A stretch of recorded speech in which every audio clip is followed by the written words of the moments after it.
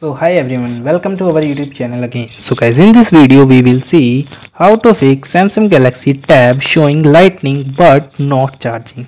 So guys if you are experiencing an issue where your samsung tablet display a lightning bolt icon but it's indicate charging but the battery level remains same. So guys don't worry. You are not alone. Many have users having such type of issues. So in this video we will see find some relevant way to resolve this issue okay? So guys before starting the process we need to check some prerequisites. For first of all you can check your charging cable and adapter.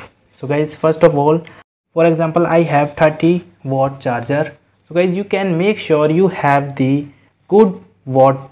Maybe it is more than 18 watt charger because most of the tab supported 30 watt for their good performance and high speed charging okay? If you're having the low there is no problem but I will recommend because uh, they provide a sufficient charging power for your battery of your tablet okay?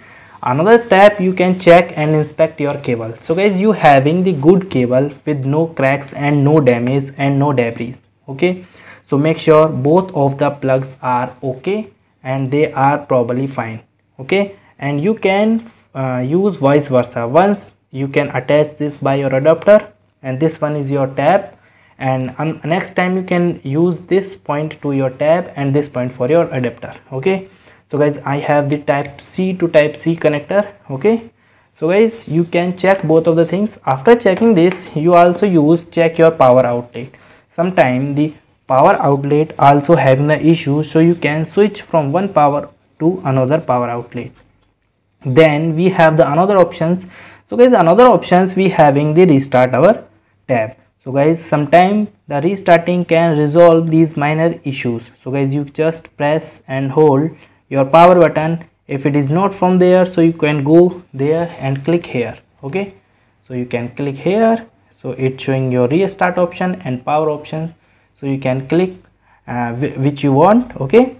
Then uh, another step after performing step if you're not getting the solution so you also check your software update. Because sometimes the older version creates such type of issues so you need to check your tab is up to dated or not. For checking update you just going to the setting. I am showing you again.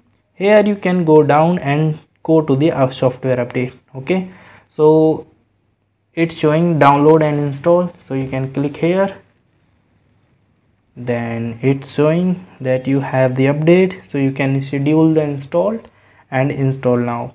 So the update is a software update can include but it is not limited. Device stabilities bug fix new and enhanced feature uh, further improvement and performance. And the security of your device has been improved. So this is the new update which having all the things okay? So guys you need to update your device always okay then guys we have the another step. So guys another step you use the different cable. So guys if you having any other cables which are and which is um, maybe the type c okay because it's showing the uh, it supported the type c and you also clean your port because sometimes there is some dust uh, are uh, getting inside your um, charging slot.